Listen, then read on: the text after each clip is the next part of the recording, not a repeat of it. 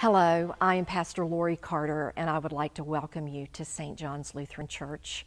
Thank you for joining us for worship. Today is Consecration Sunday. Once a year, we set aside a day to formally indicate our commitment of financial resources to this church and its mission. Take a few moments to recall the many ways the ministries of St. John's have impacted your life. Your commitment gives us the ability to support our members and meet the needs of our neighbors here in Salisbury and around the world. If you have not done so already, click on the annual campaign button on our website. The Holy Spirit calls us together as the people of God. Together, we worship and celebrate God's abundance in our lives. Let us now prepare our hearts and minds to offer our grateful response to God's free gifts of love, grace, and mercy. May you be blessed.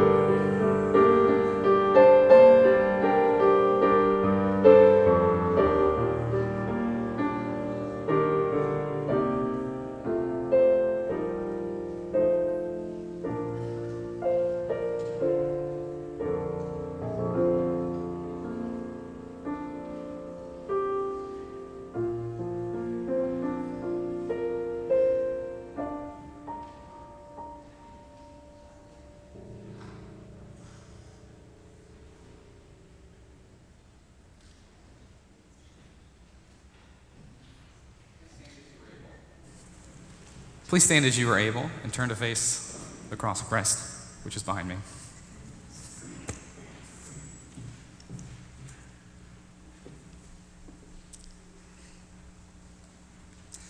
Let's go to God in confession. Blessed be the Holy Trinity, one God who is eager to forgive and who loves us beyond our days. Amen. Dear friends, let us toge- together let us acknowledge our failures to love this world as Jesus does.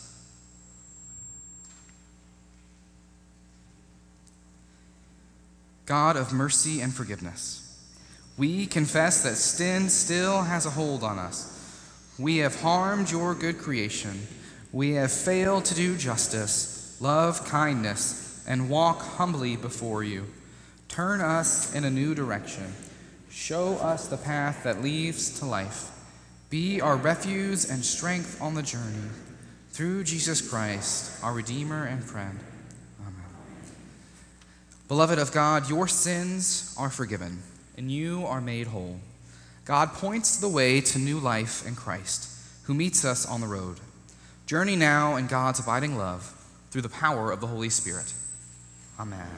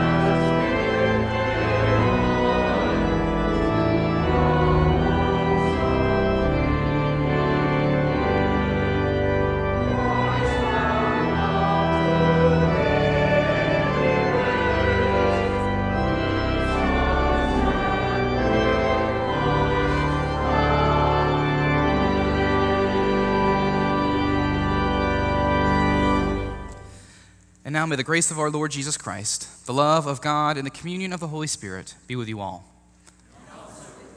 Let us pray. Almighty and most merciful God, your bountiful goodness fills all creation. Keep us safe from all that may hurt us, that whole and well in body and spirit, we may with grateful hearts accomplish all that you would have us to do. through Jesus Christ, our Savior and Lord. Amen. Amen. You may be seated. Good morning, everyone. I am Pastor James Demmel, one of the pastors here on staff at St. John's, and just wanted to give a brief word of welcome to all who are visiting with us today. In this time of the year, we are rounding out our uh, financial stewardship season. Today is Consecration Sunday, and I'll have a few words about that in a second. But what I wanted to start with as an announcement is are these green connection cards that are in your hymn. If you haven't uh, filled one of these out, whether it's been recently or in a while, we encourage you um, to fill them out, especially if you're visiting with us. We'd love to get to know you better, and this helps us to do that. But for those of us who have been worshiping here for a while, updating these every once in a while is great because emails change, addresses change. So if you feel like you're missing out on our emails, which there are an abundance of that come weekly, please do take a moment to update your email address or address on these connection cards and turn them in to the usher. Our next announcement is that in two Sundays from today, on the 23rd, that will be God's Work Our Hands Sunday. That's a special Sunday we set apart each year for the congregation to engage in a congregation wide service project. So we think about giving and using our gifts back on that Sunday.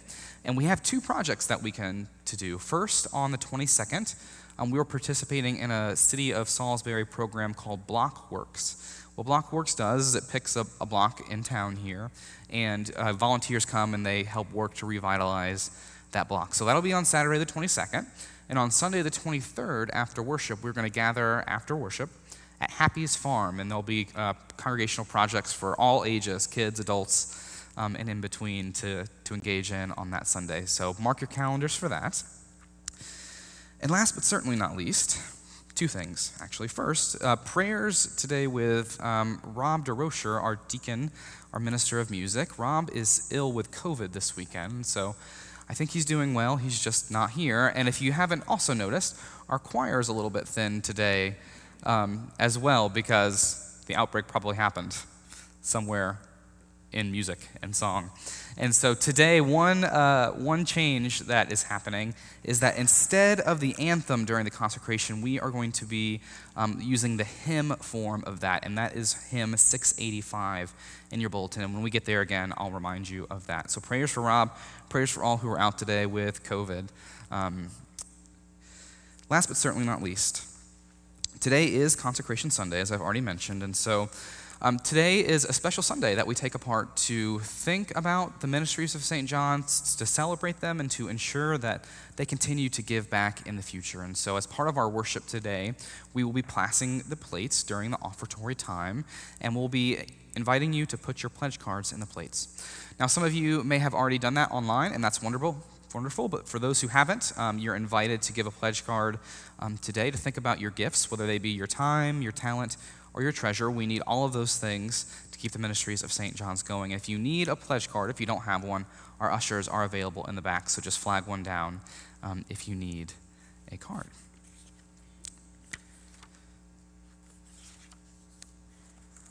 And with that, we will continue our service with the readings.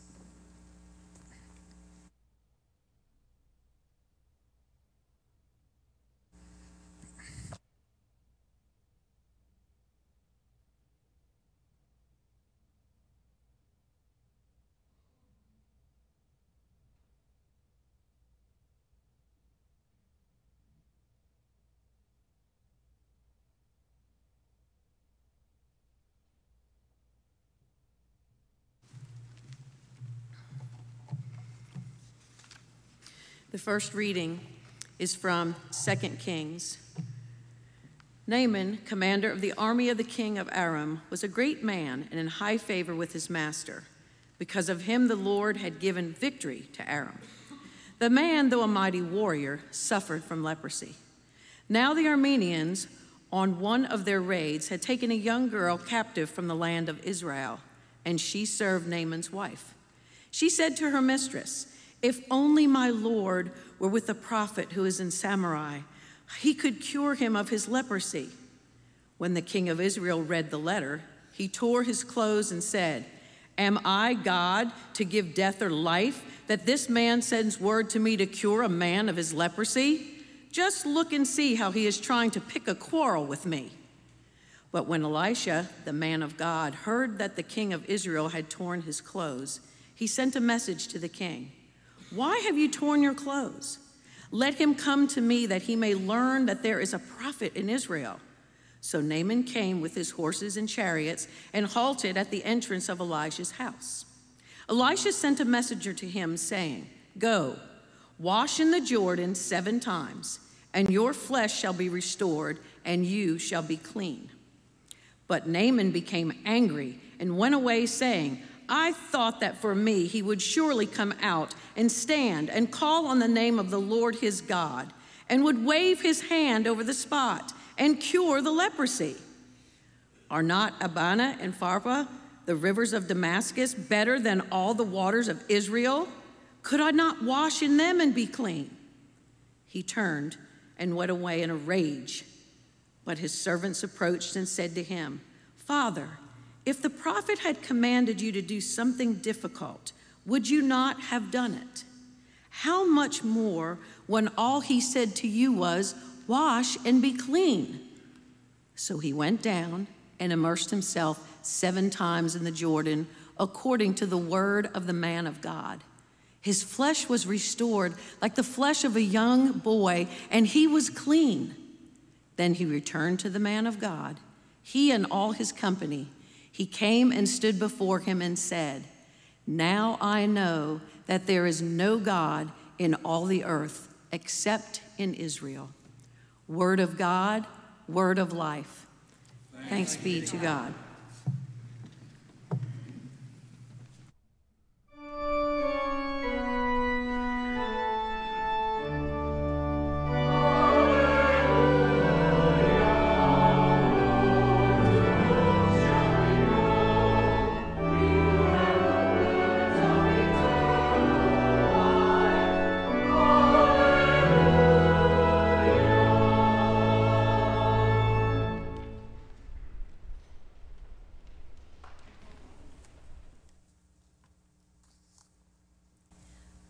The Holy Gospel according to Luke. On the way to Jerusalem, Jesus was going through the region between Samaria and Galilee. As he entered a village, ten lepers approached him. Keeping their distance, they called out, saying, Jesus, Master, have mercy on us. When he saw them, he said to them, Go and show yourselves to the priest. And as they went, they were made clean. Then one of them, when he saw that he was healed, turned back, praising God with a loud voice. He prostrated himself at Jesus' feet and thanked him. And he was a Samaritan. Then Jesus asked, Were not ten men made clean, but the other nine? Where are they? Was none of them found to return and give praise to God? Except this foreigner? Then he said to him, Get up and go on your way. Your faith has made you well. Word of God, word of life. You may be seated.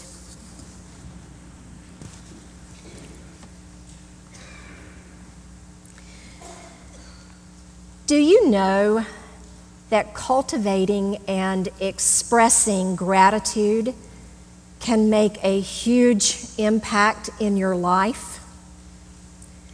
There has been significant research done on the effects of gratitude, and according to Harvard Health Publishing, most studies support an association between gratitude and an individual's well being.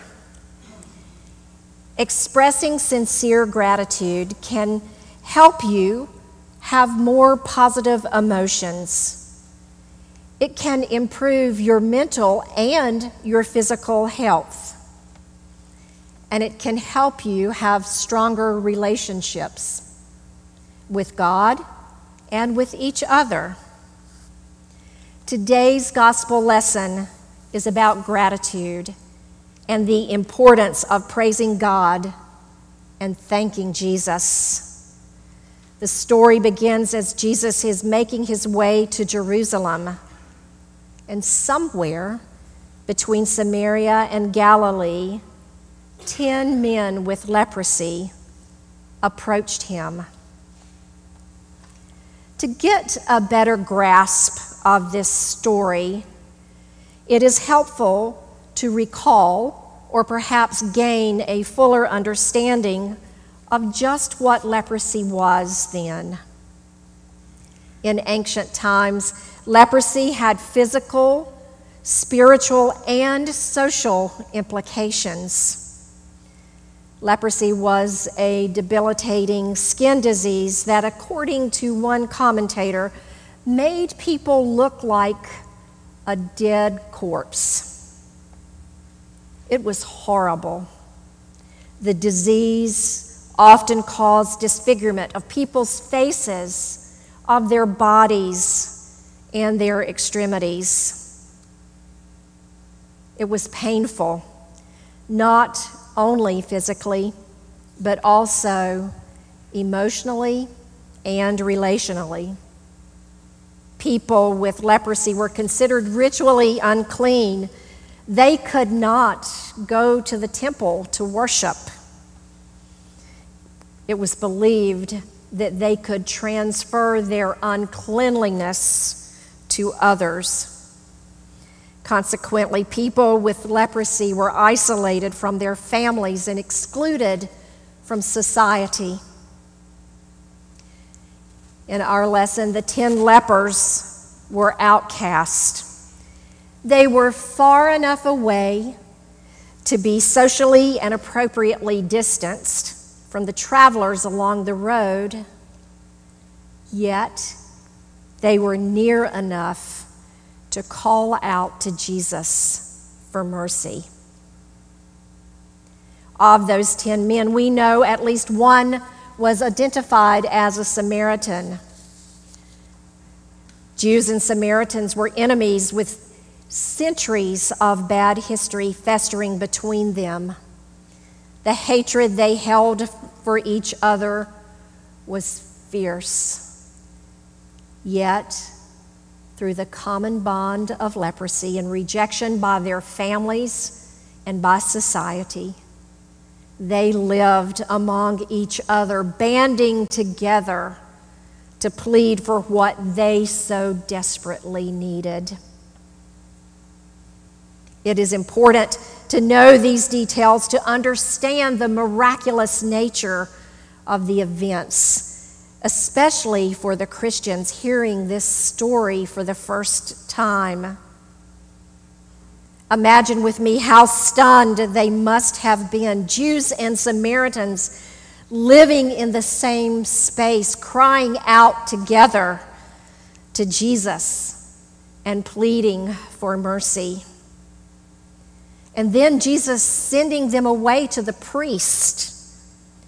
That meant they were cleansed. Ten men leaving, yet one returning, praising God and falling at Jesus' feet. And as scripture tells us, in a sentence all it, its own, and it was a Samaritan who did that.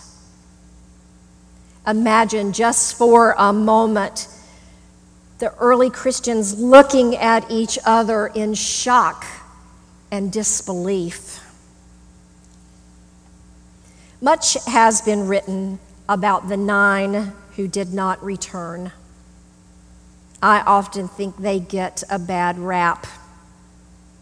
I believe that there is scriptural evidence to indicate the ten believed in Jesus and that he had the power to help them. For the text reads, they all approached Jesus. They all called Jesus Master, have mercy on us.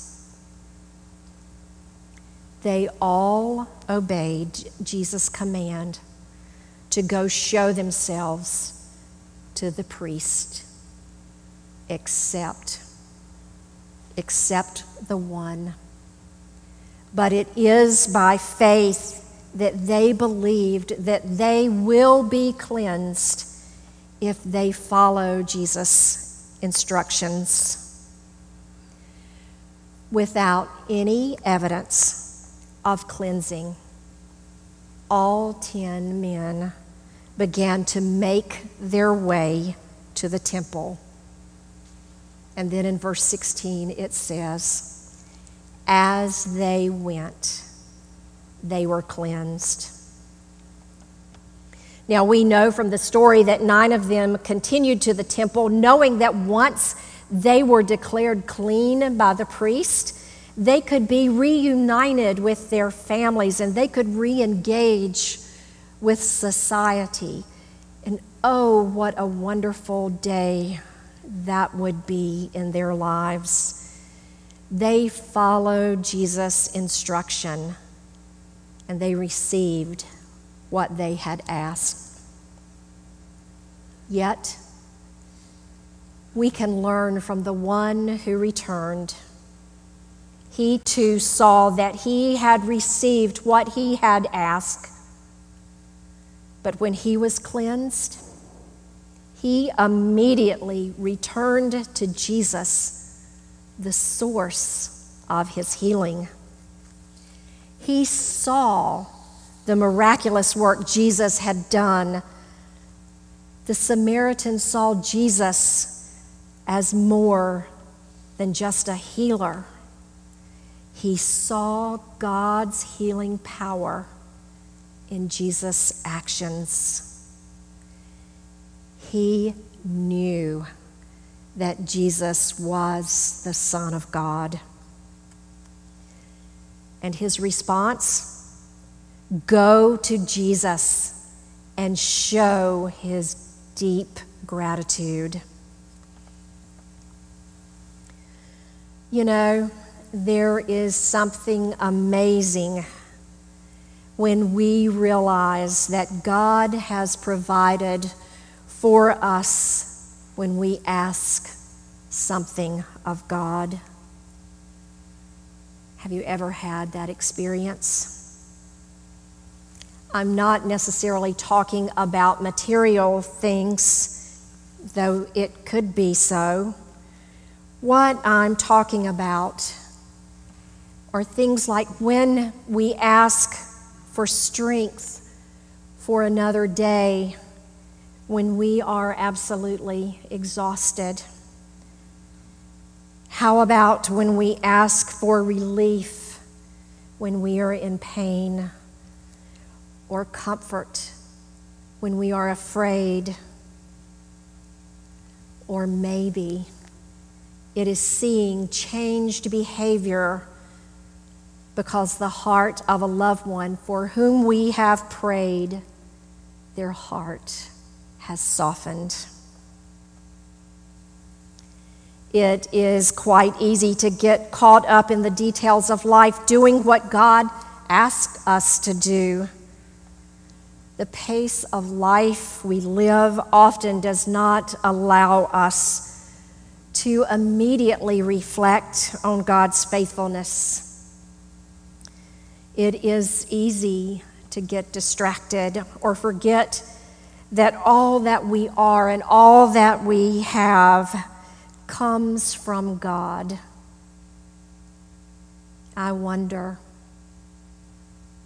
do we pause for a few moments to acknowledge God and thank God on the spot for what God has done or is doing in our lives?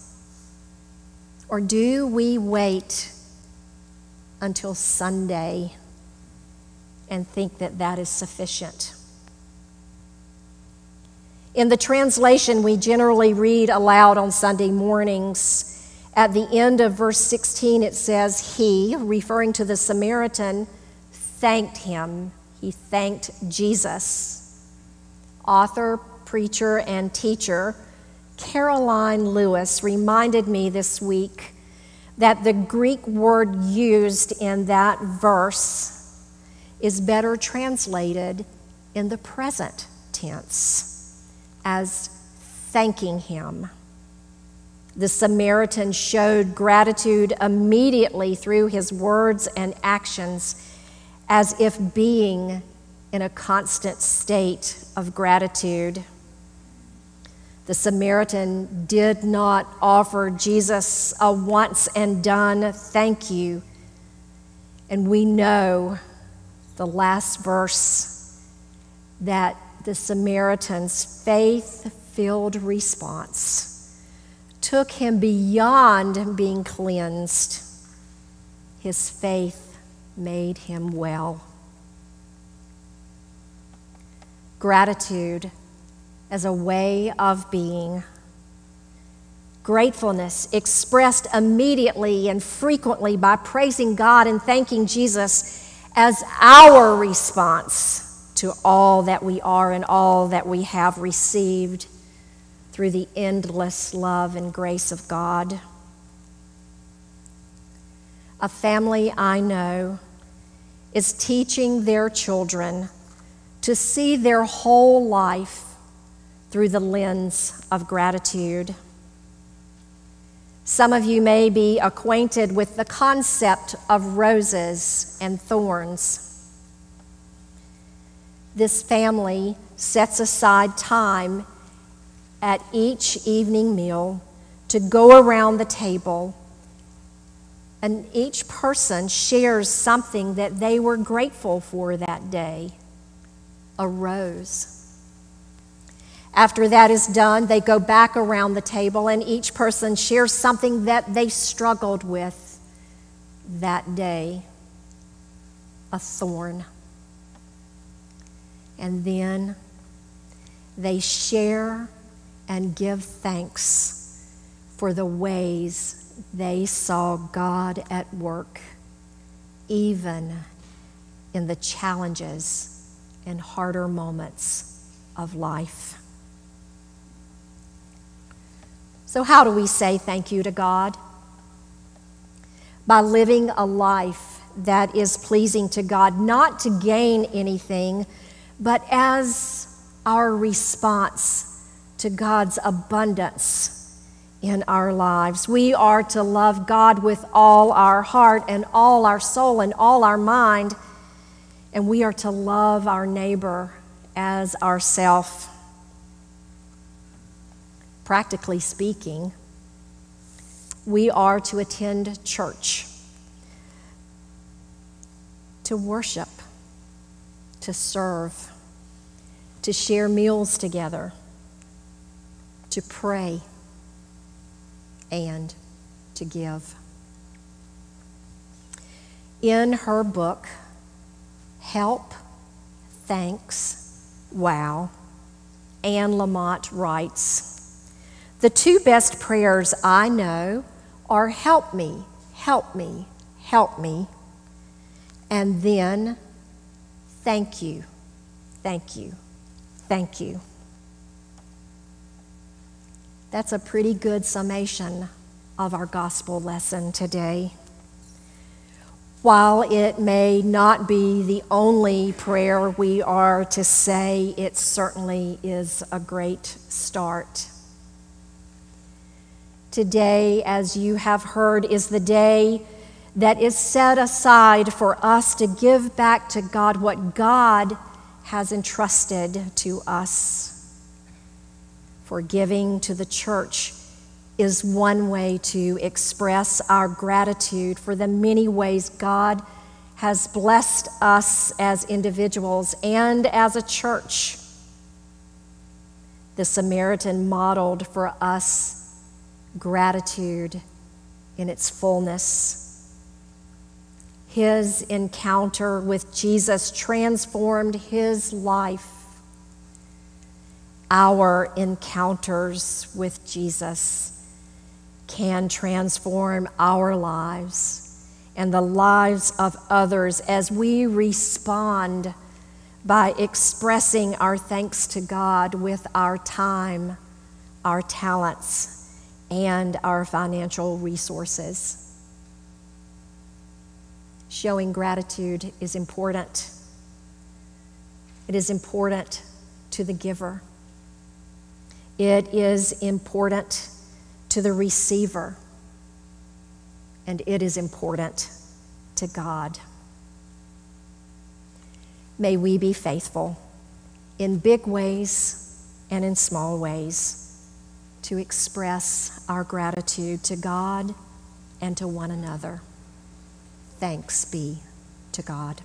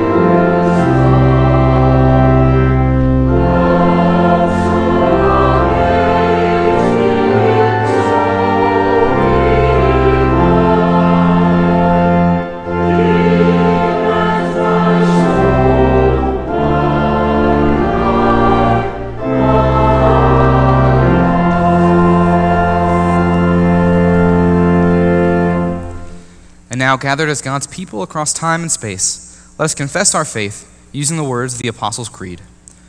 I believe in God, the Father Almighty, creator of heaven and earth. I believe in Jesus Christ, God's only Son, our Lord, who was conceived by the Holy Spirit, born of the Virgin Mary, suffered under Pontius Pilate, was crucified, died, and was buried. He descended to the dead. On the third day, he rose again. He ascended into heaven he is seated at the right hand of the Father, and he will come to judge the living and the dead. I believe in the Holy Spirit, the holy Catholic Church, the communion of saints, the forgiveness of sins, the resurrection of the body, and the life everlasting. Amen. Amen. You may be seated. Whenever we talk about giving in a Lutheran context, my theological senses start to get a little bit wary. The whole movement of the Lutheran Reformation, as many of us know, was based on the fact that God's grace and God's love is free of charge. We don't have to earn it, we don't have to work for it. We don't give to earn God's love. Those things are free. God gives them to us and will continue to give them to us time and time again, free of charge. But in this moment of consecration, we recognize that we give back out of a joyful and full heart, full of God's love, remembering what God has done for us. We give back. Consecration Sunday is a moment where we take and we set apart our gifts and we designate them to God, designate them as holy. This Sunday in particular, we set ourselves aside. We remember that there are many gifts finances, time, treasure. All of those things we give back to God. We need all of those things to keep the ministries of St. John's going in the future. And so, as the ushers come forward in just a moment, uh, you're invited to place your pledge cards if you have them with you in the plates, and we're going to present them to God. After the presentation, the doxology, uh, you are invited to join me in a responsive prayer. And right now, I'm going to invite David Horde forward. David Horde is the chair of our uh, stewardship campaign this year. And so David has done a lot of good work getting our congregation ready to, for Consecration Sunday and to celebrate this moment. And so I thought it only fitting that he share a reading with us. Thank you. A reading is Hebrews. Through him, then, let us continually offer a sacrifice of praise to God. That is, the fruit of lips that confess his name.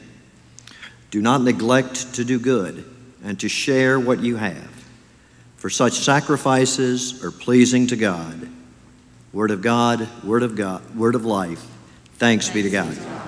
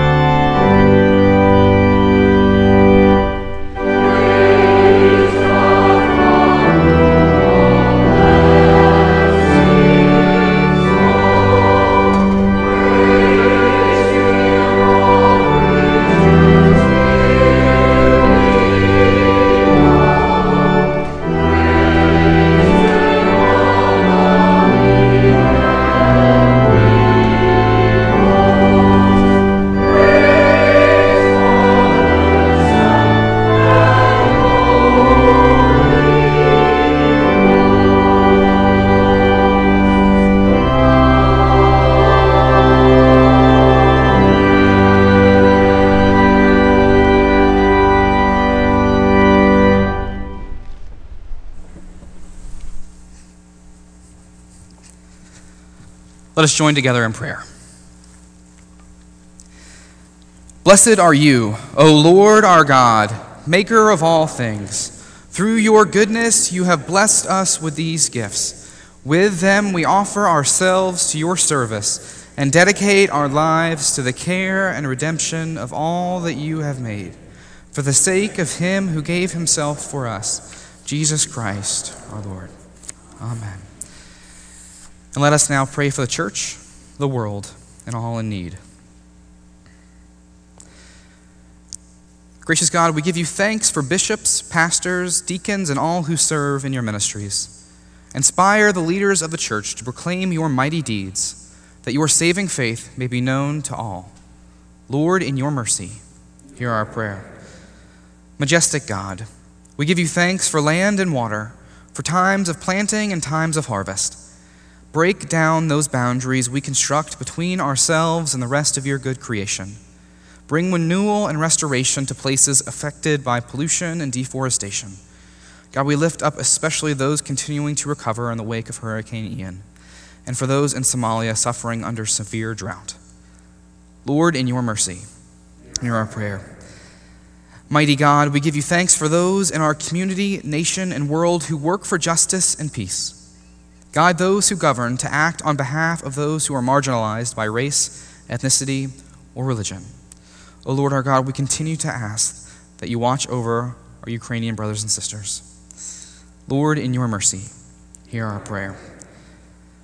Merciful God, we give you thanks that you hear the cries of those in need. Restore to community those who are stigmatized by illness, feel rejected, or who live in isolation. Send healing to all who suffer, especially those we lift before you now, silently or aloud. Jim, Bill. Lord, in your mercy, hear our prayer. Lord, you promise that weeping may come with the night, but joy in the morning. We thank you for those who have died in faith, especially those we name before you now. Darian, David. O God, in the fullness of time, gather us around your table of great joy. Lord, in your mercy, hear our prayer. Gracious and loving God, we give you thanks and praise, for you have given to us so wonderfully. God, we ask that you continue to inspire us, that we might live lives of gratitude and service to you. God, we consecrate our gifts before you this morning and ask that you may use them to further your ministries here at St. John's, in Salisbury, and around the world. Lord, in your mercy, hear our prayer. And now into your hands we commend all for whom we pray, trusting in your mercy, through Jesus Christ our Lord. Amen. And now, gathered into one by the Holy Spirit, let us pray the prayer that our Lord has taught. Our Father, who art in heaven, hallowed be thy name. Thy kingdom come, thy will be done, on earth as it is in heaven. Give us this day our daily bread, and forgive us our trespasses, as we forgive those who trespass against us. And lead us not into temptation, but deliver us from evil. For thine is the kingdom, and the power, and the glory, forever and ever. Amen. Amen. And now may the Lord bless you and keep you. May the Lord's face shine upon you and be gracious to you. May the Lord look upon you with favor and give you peace. In the name of the Father, and of the Son, and of the Holy Spirit. Amen.